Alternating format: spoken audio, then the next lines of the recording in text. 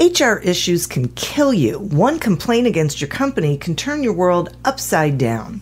And you spend way too much time dealing with HR when you should be spending your time on making a profit. You should talk to Bambee. With Bambee, get access to your own dedicated US based HR manager starting at just $99 per month. They get to know you and your business while providing HR expertise and the personal touch you need and want. They're available by phone, email, and real time chat, so onboarding and terminations run smoothly team members reach peak performance, and your business stays compliant with changing HR regulations.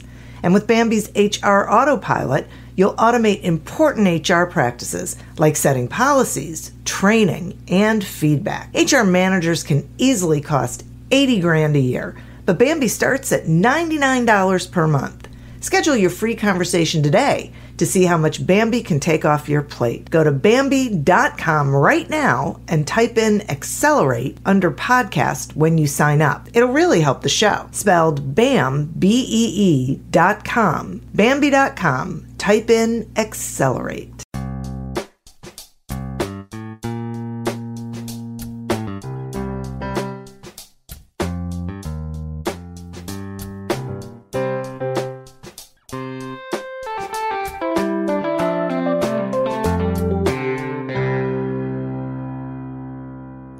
Welcome to Accelerate Your Business Growth with your host, Diane Helbig. Diane is a leading small business development and leadership coach, author, and speaker who is passionate about sharing valuable ideas, tips, and techniques with business professionals worldwide. Diane brings you the world's experts and gurus in all things business, whether it's sales, structure, social media, planning, or plateauing, guests bring their expertise and energy to each episode. When growing your business is your focus, Accelerate Your Business Growth is the show to listen to. Got a topic or guest suggestion? Let Diane know. The goal is to make sure you have the information you need to move your business forward. Thanks for joining us. Settle in and enjoy. Hi, everybody. Thank you so much for joining me. Today's podcast is sponsored by Audible.com. Audible.com is a leading provider of spoken audio entertainment and information. Listen to audiobooks whenever and wherever you want. Get a free book when you sign up for a 30-day free trial at audibletrial.com slash businessgrowth. Accelerate Your Business Growth podcast is enjoying inclusion on lists of the best podcasts to listen to and continues to gain recognition as a resource for small business owners, entrepreneurs, sales professionals, uh, really, you know, business folks of, of all stripes. This is because of the guests who come on and uh, join me in a conversation. These are folks with expertise in various areas of business, and they give of their time and their knowledge so that all of you can rock it. Uh, today, my guest is Adam Anderson. Adam is a longtime small business owner who also happens to be one of the leading authorities on small business cybersecurity. This serial entrepreneur is also an author, writing several books on cybersecurity and cybercrime to help other business owners understand and navigate the digital world. Adam's on a mission to help fellow business owners find the answer to the question should I even care about cybersecurity? His newest book, The Monster Within, shows business owners that cybersecurity isn't something reserved for only the nerds in Silicon Valley. We all have a stake in this. Thanks for joining me today, Adam. Hey, thank you for having me. I love this topic of cybersecurity, and, and, and what I really love is this uh, concept of uh, we're, we're worrying too much about it, but I, I don't want to get ahead of myself on that because I sure. you know it's a conversation. Uh, we will get there, but I would like to start with um, what you say are three ways to frame the cybersecurity problem. If you would expand on those, please. Yeah, so I like to think of it as the the the whole. Um, the idea that the problem presents itself in three ways, and it's an external, internal, and philosophical way of thinking about it. And everyone gets the external threat, which is the bad guys are coming, they want to steal your stuff. But that is usually not enough to make anybody act. because there's a internal problem that stops you from acting and that is nobody wants to waste money. No one wants to spend uh, time on something that they don't understand how it's going to provide value. So because of the internal problem where i'm a business owner and i really want to invest in sales and marketing because i like revenue not expense i'm not going to be addressing that external threat. But the problem that really drives the the thing that gets you over the internal is the philosophical. And that's the the whole point is it's really hard to do what we do and it is really important that we do what we do we drive the world's economies being small business and mid-sized business people and to let yourself be vulnerable because you're not willing to put the effort in to just take the first glance at this issue um, it's basically letting somebody else cheat and and hit the success that you've worked hard for without having to do the effort. And for me, I have a personal problem with that.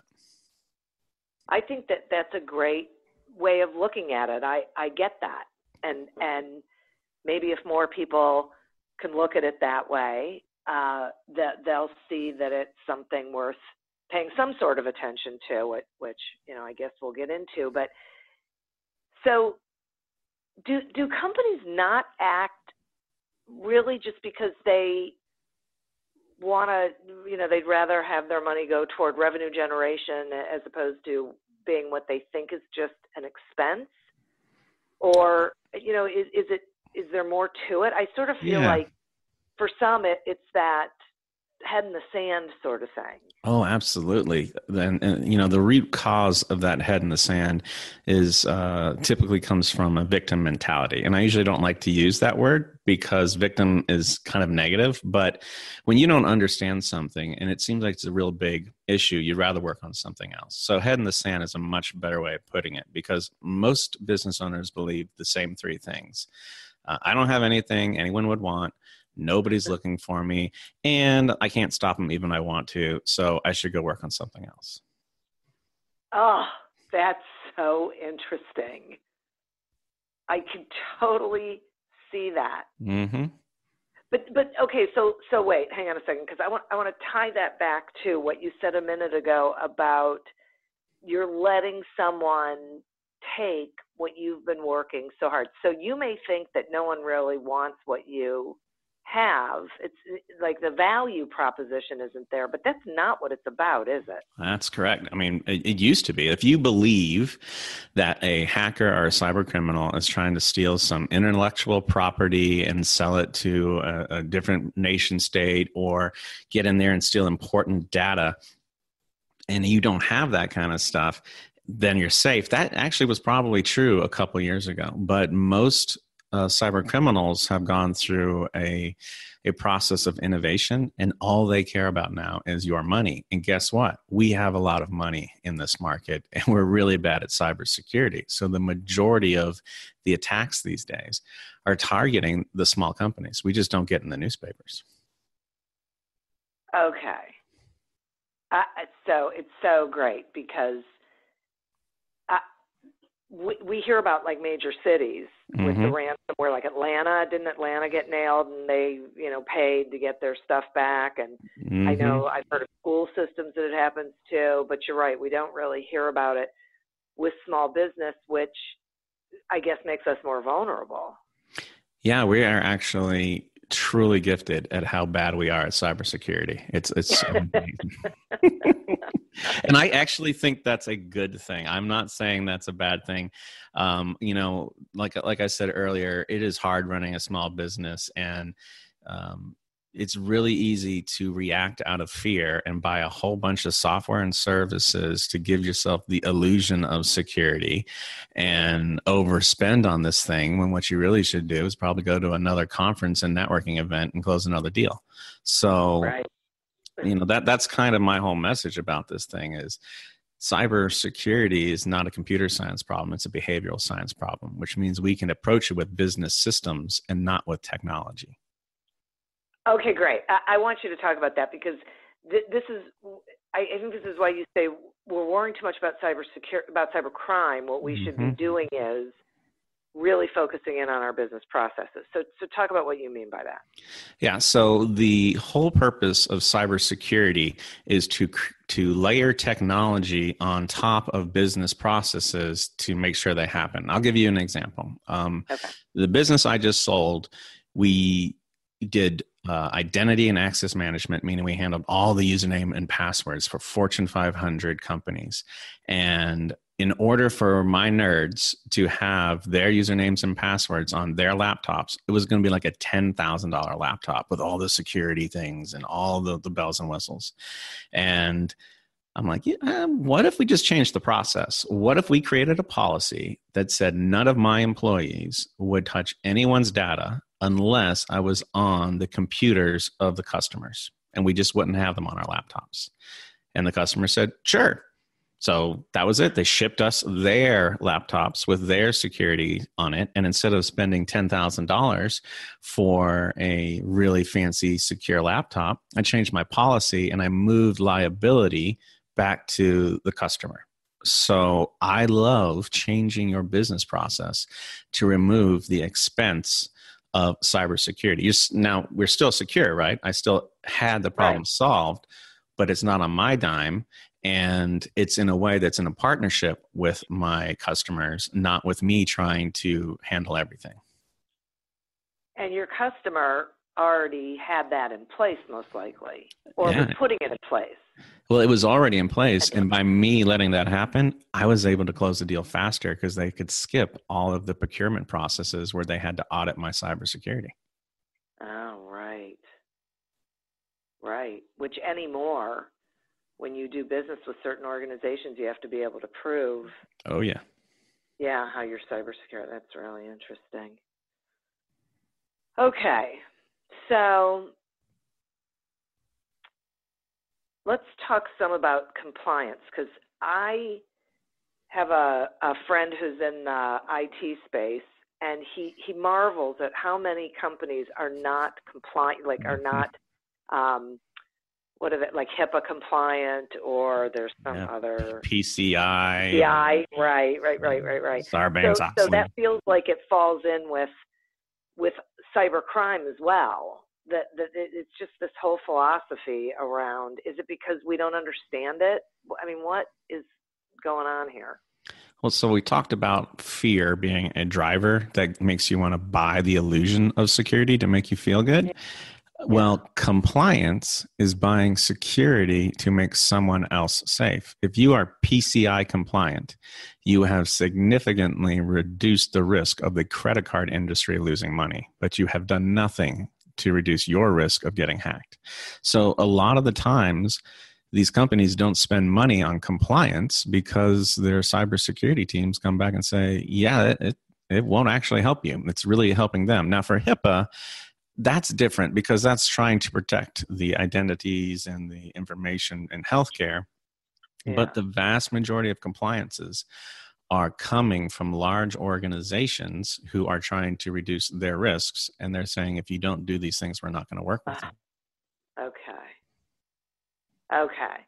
So they're really driving the bus and the small mm-hmm. business owner. Is it is it expensive? I mean, is that can it be cost prohibitive for a small business owner to then be able to do business with those sorts of organizations?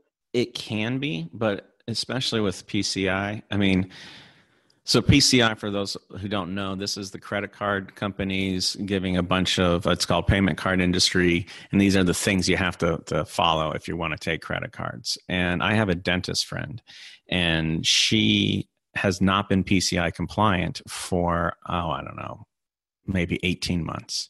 And they're like, no, no, you can keep doing it, but we're going to give you a penalty of $150 a month while you're not compliant. And for her, that cost is so low compared to what it would cost to actually get compliant that she's basically now paying a membership fee to take credit cards. And so I have a real problem with some of the way that compliance is enforced yeah. on the small business because it almost seems like a racket to me. Yeah, because you either need to be compliant or right, mm-hmm. but there's either really a need for it or not. Absolutely. Oh, yeah, yeah. Mm-hmm. That's interesting. The things we don't know. Okay, so so talk to me about these monsters which I believe are what our beliefs about risk, mm-hmm. and right, and and they determine how we approach things like cybersecurity. Yeah. So, you know, where I like to approach cybersecurity from is what you believe drives your emotion, your emotion state drives your behavior, and then your behavior over time leads to habit. So, your beliefs, like we talked about, I'm not important, I can't stop them, uh, no one's looking for me, those are going to make yeah. you act in a certain way. But it's completely reasonable to live in these different states of belief and I have an analogy I love. It's um, how we perceive monsters. So back in the day, uh, monsters only attacked you and came at you when you traveled, like when you're in the wilderness or on the ocean. And if that's your viewpoint, then you think as long as I don't go to places on the internet I shouldn't go, I'm going to be safe and I don't have to worry about cybercrime. So that's one belief. The second belief is uh, more of the village mentality, where you know my house is safe, but my neighbors may not be. It's a small village. I'm definitely not trusting uh, strangers. So here you think that the entire internet is dangerous, and you have to be real careful who you trust. And then the third is the monsters inside. So the movie Scream. Do you guys you remember that? The uh, mm-hmm. So that was the first time where the monster was actually in the house, where he, uh, the the bad guy says, you know, on the phone, "I'm in your house," right? And that to me is the key because you can't control those other two beliefs. But when you know that the monster is actually how you think about cybersecurity, that makes you unsafe, well, the good news is you can actually modify those beliefs. Those three things I said. If you know that those beliefs are standing in the way of you getting safe or just reducing risk, we're not ever going to be safe, but we want to reduce risk and reduce liability. Well, this is good news because you can modify those beliefs. And to me, I love that whole imagery of these monsters everywhere. But the one that really is important to address is the one inside. Yeah, that that's really that is great, and the great thing about that is that it is empowering. So you don't feel like you don't have any choices anymore. You feel like, okay, now I really can do something about this. Mm-hmm. Yeah, interesting. All right, I'm going to take a quick sponsor break, and then I have some questions about that. Accelerate Your Business Growth podcast is happy to be sponsored by Audible.com. Audible.com is a leading provider of spoken digital audio entertainment and information. They have over 150,000 titles to choose from, and you can listen to them on any device, including whatever you're hearing us on right now. And if you sign up at our link, which is audibletrial.com slash businessgrowth, you get one free audiobook and a one-month trial of the service. Some examples of books you can listen to on audible.com are Transform Your Company by Alex Vorobieff and The Irresistible Consultant's Guide to Winning Clients by David A. So visit audibletrial.com slash businessgrowth, explore the books that are of interest to you, and receive one free audiobook when you sign up for the trial. Today we're speaking with Adam Anderson about cybersecurity and your business. So let's talk about the biggest cyber risks because sure. you know when you talk about these various monsters and things i'm i'm curious about in reality to a small business what's the biggest cyber risk so this is typically where most people want me to go into like ransomware and WannaCry and different hacking techniques.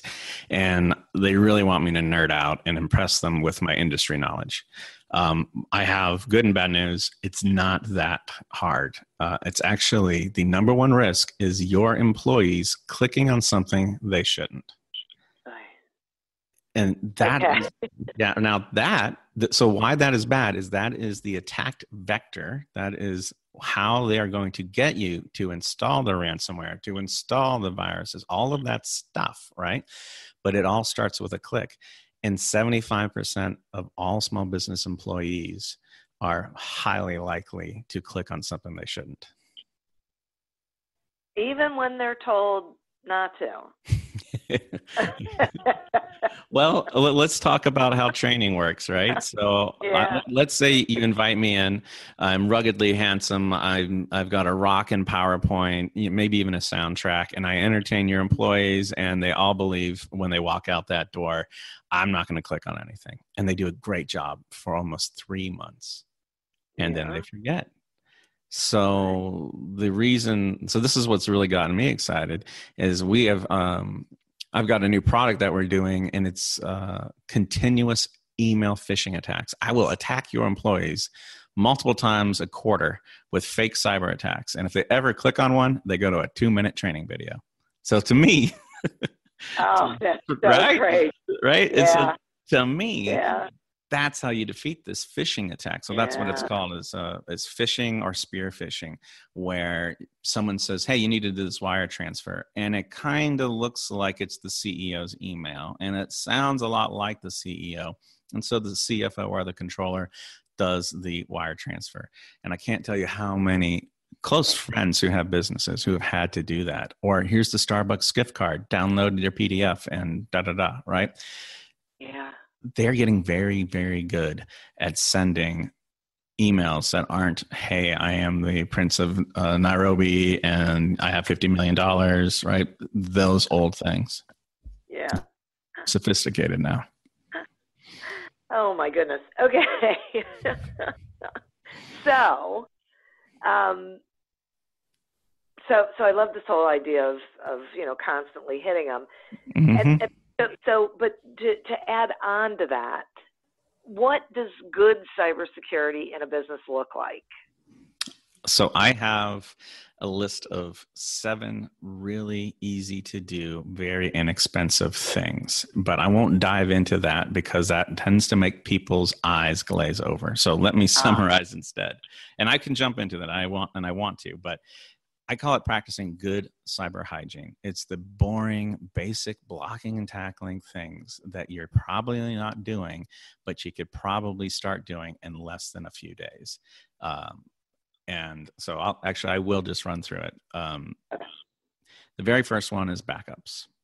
Uh, you need to make sure that your important data, and that changes based off of your company. So if you're a, a solopreneur who does a whole bunch of documents and you have everything on uh, Google Drive, you're probably okay.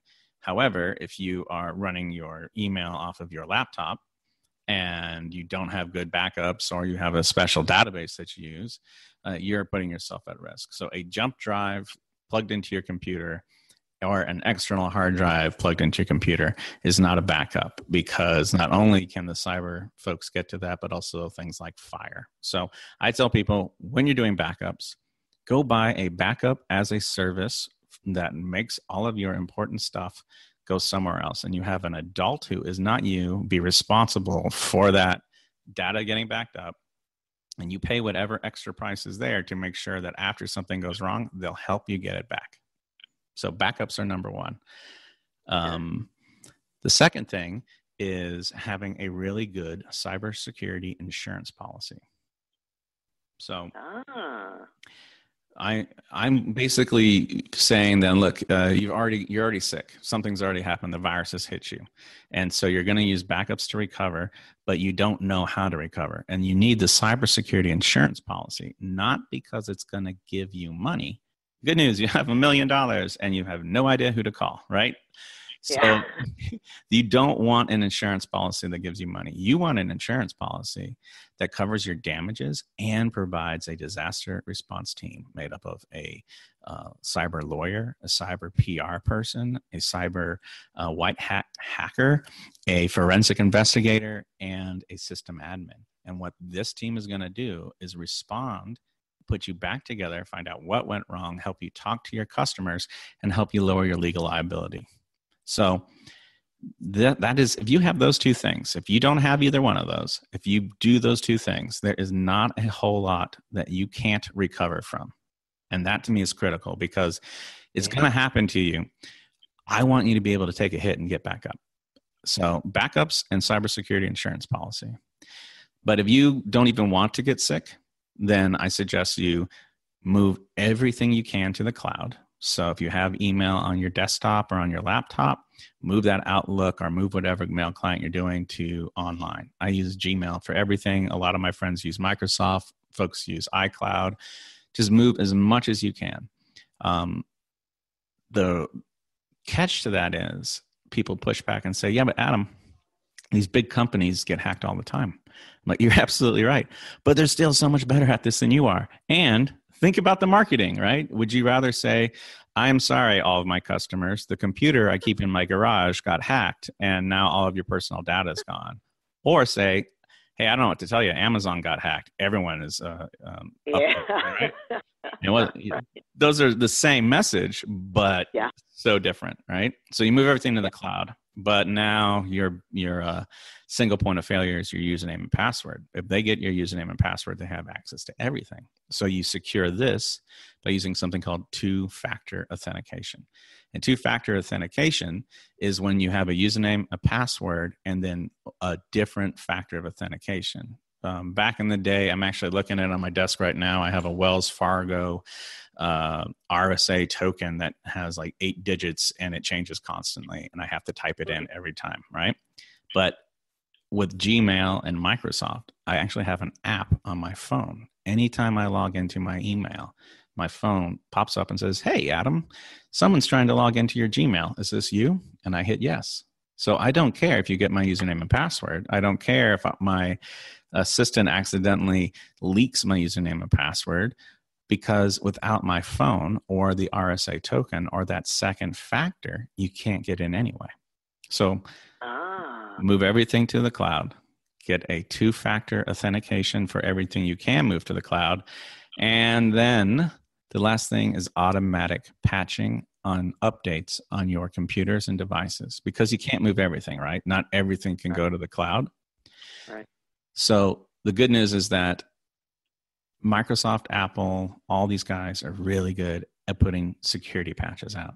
And if you enable automatic updates and you turn on the basic security features of your operating system or your device, you're probably 99% safe, but only if you allow them to continue update it. Um, I'm actually guilty of not doing that. So I was in the middle of doing my slide deck for my TED talk, and I was in the zone, being super creative and amazing. And then my computer popped up and said, "Would you like to reboot for the security patch?" And I had a conundrum because I was about to talk and tell people to do it. I'm not going to tell you what I did. I'm not going to tell. Ah, so now I know what you did. you know exactly what I did. I said no. because here's the thing cybersecurity is only valuable if it doesn't disrupt your business. If you're doing all this stuff and it prevents you from doing your job then you've done too much. Make sure there's a business case and make sure that the the liability that you're trying to avoid is not um, causing you even more liability in your company from not being able to you know put together a powerpoint that's going to make you money. So that's an aside. Yeah so, boy. Yeah but that's a really good point. I right? I mean look yeah. at the end end of the day business wins. If the business case doesn't justify the security control don't do it. And yeah. if you don't understand why you're doing it and you can't justify it on a spreadsheet and you can't have a real intelligent business decision happening just don't do it. And you might be leaving yourself vulnerable to the boogeyman but chances are you're not. Just do these things i'm telling you and you can you can then slow down and be more intentional with your strategic planning. So we were just saying uh, update your stuff. Yeah. So now we're getting to what I think is the, probably the most important thing to keep you safe, and that is to not log into your computers as administrators. What I mean by that is by default, when I sit down on a brand new laptop, Microsoft gives me the keys to the kingdom. I can install any software I want. I am the boss of this machine. But when I click on something that I shouldn't, it uses my role, my administrator role, to install all the bad stuff. So I always, the first thing I do is I create a user account on the computer that doesn't have all of those really powerful rights. And next thing you know, I can click on anything I want because I no longer have permission to hurt myself. Um, it's like putting a, a, cork at the end of a fork and handing it to a kid. Sure, they can do some bad things with it, but at least they can't stab themselves. So, right. So human behavior is going to happen. We're going to make mistakes. So safeguard yourself by making sure if you do make a mistake, uh, you're safe. Um, so then the, the last thing that I like to talk about is uh, training for social engineering. At the end of the day, your people don't click on things, they don't hurt themselves. And the, the majority of the viruses that are going to hurt you um, that are coming from outside, if you do these other things, you're going to be okay. But you're still worried about the human factor. Again, cybercrime isn't about computer science, it's about behavioral science, which means if you are not training your employees and conditioning your employees, then you're behind the ball. Um, so really paying attention to that. And then the last thing is make a plan, right? No surgeon goes into a room to uh, operate on a body, on a human, without actually having a plan. And this is when you should go find a smart person who understands business and cybersecurity and make sure you align what you're trying to accomplish and what makes sense as far as security goes. And I, actually I don't even mean that for cyber. I mean that for security in general. I mean, sometimes yeah. you should spend more money on the lock on the door than you do on the uh, the uh, firewall on the router. Right, right. Okay. Will you talk some about um, VPNs mm-hmm. for when people aren't in the office, like they're at a coffee shop or whatever? Yes. Um, very simply, you need a VPN. There, so it stands for Virtual Private Network, and what it does is let's. So I'll walk through a real example. I love coffee, and I'm not going to lie. I will buy an expensive Starbucks latte. I'm going to do it, and I'm going to sit there and I'm going to work, and I'm going to be connecting to my Gmail, and I'm going to be doing emails, and I'll be touching social media, and I will use the Starbucks network because it's there. Now, mm-hmm if at all possible, don't do that. Tether to your phone, use some other thing, but often convenience wins. The step I take to make sure I'm safe is I turn on my VPN, and I've bought one. It's uh, the product's Avast. I, I think it's free. I'm not 100% sure. It could be like 45 bucks. I'm not suggesting the product, but it's the one I use, and it automatically protects and encrypts me. So whenever I send traffic to the internet, I go through the Avast servers first. What this does is it prevents people from sitting on that network and seeing everything you're doing. And I'll tell you a quick horror story that has a happy ending. Um, I sent some of my nerds to a convention called Takedown Con in Vegas. And they came back with these really new fancy iPad 2s. That's right, iPad 2s. That's how long ago this was. And they said, Adam, we have learned how to hijack Facebook sessions on public networks using iPads. I can now assume your identity on Facebook and take over your message board and your timeline and change all of your personal information. Isn't that cool? I said, No, that's horrifying. you give me those iPads right now. so this this is out there, right? And so never connect on a public network without a VPN. And if all possible, use a tethered data connection from a source you control, such as your phone and your internet provider that your phone's connected to. But even in that case, I often have a VPN on my phone and I double up. Okay. So. Okay, that's great. That's great because I've heard about. I mean, I have one because I was told that I needed one, and so I did it. And then, but I never really quite understood what it was doing for me, and if it was really um, helping keep me safe. Yeah, it's create it creates a tunnel that it, uh, is an encrypted tunnel from your computer to the thing you're trying to work with and anyone who looks at your data or looks at that tunnel it's it's dark to them and they can't get in and that's the key is that if you are not creating that tunnel your stuff goes out there in clear text and depending on what you're doing it's very very easy to hijack that stuff and um, see what you're doing or even control it. Okay. Okay.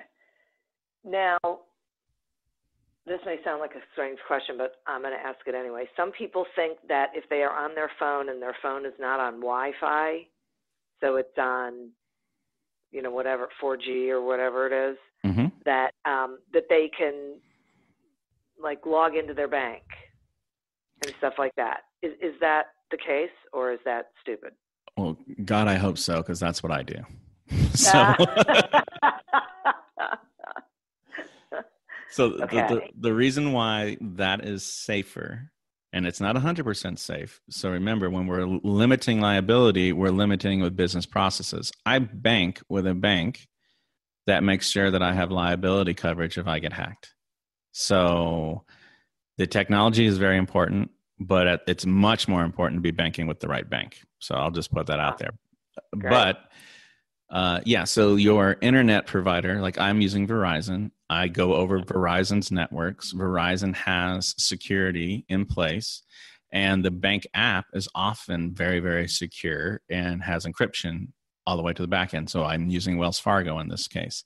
So you have multiple layers by default that these people have put in. The thing that you're really worried about is have you downloaded a fake app? Are you using the right thing? They ha- there are uh, a, a quick example of how a bunch of usernames and passwords got captured is they a couple years ago a hacking group put out a fake banking app for a major bank and people started downloading it on android and they would install it and they would log in and it wouldn't work and they would go huh and they would go and try again and get the right app now it's working well they collected hundreds of thousands of Oh. usernames ah. and passwords because every Wow. time you tried to log in it just sent you sent that information to the back end servers so and by the way that was it cost them about $2500 to develop and deploy that solution oh my goodness. so cybercrime is more about project management because you can outsource all this stuff on the dark web than it is about being good at computers, which is one of the reasons why Uh-huh. the three beliefs are no longer applicable because if I can create a virus or if I can create an attack for $2,500 that I can attack hundreds of thousands of small businesses, you know that so many are being created every day. Right. Sure. That's the that's part of what's scary about it. hmm Oy, oy, oy. This is so, I mean, it's not great because it's a really scary thing, but having you here to explain this stuff has really been great because it, it, it feels um, more, not as scary, let me say it that way, that, that it's something that we can actually safeguard ourselves to a pretty good degree if we are um, thoughtful and proactive about the things that we do Yes. tough decisions. Yeah, yeah, it's great. You, you know what's really scary? Marketing. Marketing is scary. Cyber, sec- right? It is right. Cybersecurity So is not scary. It is just a list of policies. Hey, we shouldn't do that. Matched with procedures. All right, if we're not going to do that, here's what we're going to do. Supported by technology and security controls that make sure you're not going to do it and report on it um, if you have to. And it's if you can come up with a flow chart, you can do cybersecurity. And it does seem scary because I basically also described marketing, right? So shouldn't I be able to do that? But I guarantee you, I hire a marketer, I hire a marketing firm, I hire a strategic planner. Look, if it's outside your your skill set, you can either try to become an expert in it, or you can um, pay an expert. And personally, for me, marketing is something I pay for help with, and maybe for your listeners, or I mean, pay somebody to help you create a cybersecurity plan, and then sleep better at night.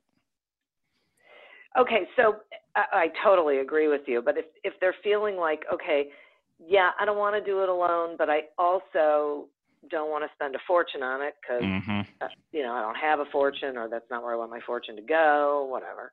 Um, what do you tell them? What do you suggest? I typically, well, let let's talk money first, right? So hiring a fractional chief security officer, like a part-time chief security officer, can be very expensive, and it's outside of the bandwidth for the majority of small business owners. So, where can I get free advice?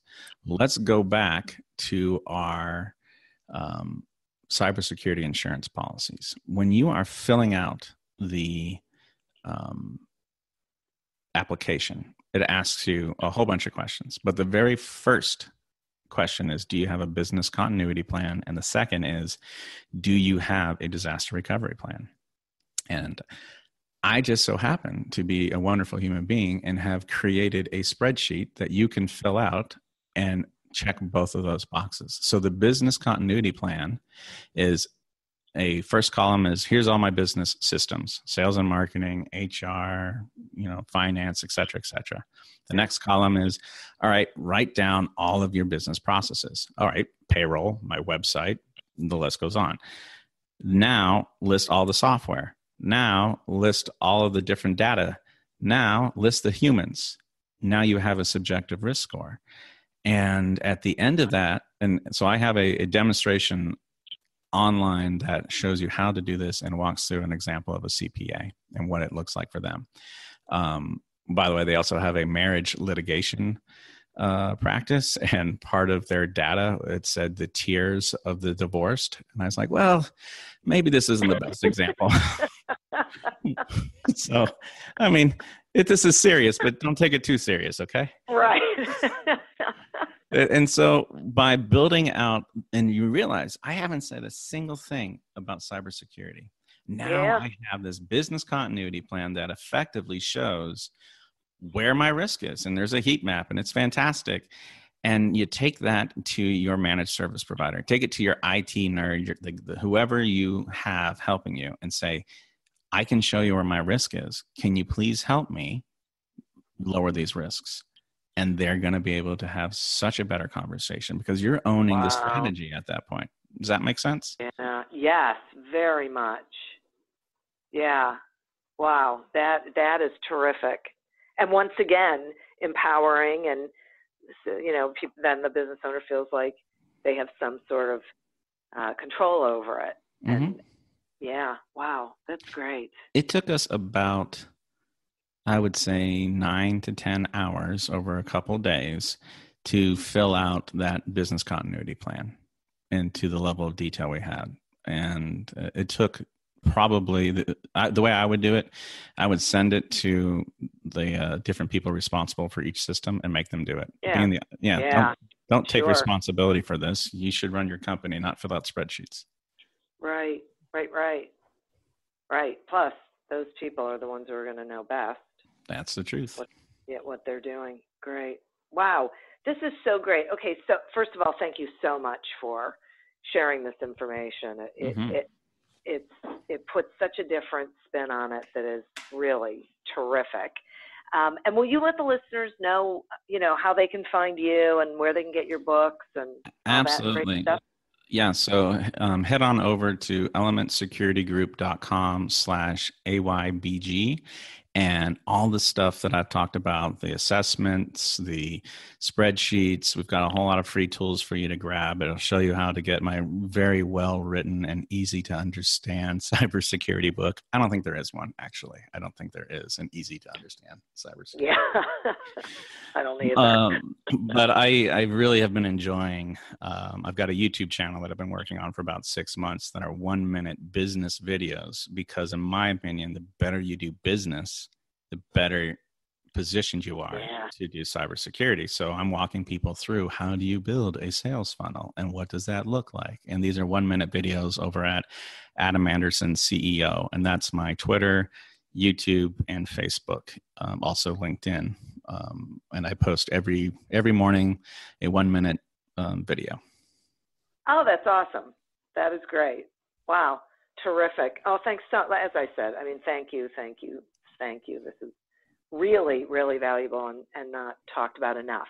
So, uh, and, and speaking of not talked about enough, I also want to thank the listeners. I, I think you guys got an awful lot of great information here today and go find Adam and, uh, you know, don't, don't finish listening to this and just move on. Go ahead and take some action. You'll sleep better at night and so will all of your employees and anyone else who is connected to you who cares about you.